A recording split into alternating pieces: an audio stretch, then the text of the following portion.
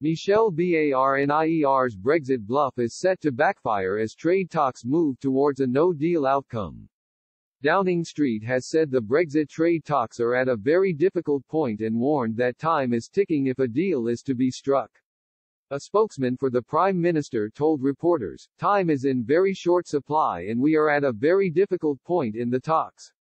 Philip Rycroft, former permanent secretary, exiting the EU warned there will be a no deal if an agreement is not struck in the next four days.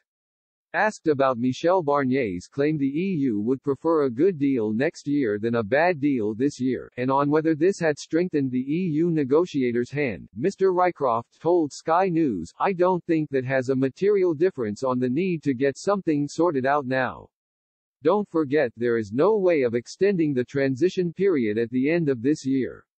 That is legally and politically almost impossible to do. If the negotiations aren't sorted over the next three to four days then effectively we have no deal at the end of this year and a different sort of negotiation has to resume at some point next year.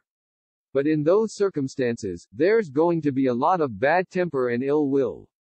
Neither side is going to want to be the first to say, yes, let's get back around the table. That situation could persist for a very long time and effectively that's a no-deal outcome. Speaking on Friday, a spokesman for Boris Johnson said, We are committed to working hard to try and reach an agreement with the EU and the talks are ongoing. There are still some issues to overcome. Time is in very short supply and we are at a very difficult point in the talks. What is certain is we will not be able to agree a deal that doesn't respect our fundamental principles on sovereignty, fishing and control. Our negotiating team is working extremely hard in order to bridge the gaps that remain. Mr. Barnier and Lord Frost, the UK's lead negotiator, are both personally involved in Friday's discussions, Downing Street said. The comments come after Business Secretary Alok Sharma told broadcasters there were a number of tricky issues still outstanding. Fishing and the so-called level playing field aimed at preventing unfair competition on state subsidies and standards remain the main issues to be resolved in the talks and with the Brexit transition period due to end on December 31, there is little time left to get a deal agreed by negotiators and approved by the EU's leaders, Westminster and the European Parliament.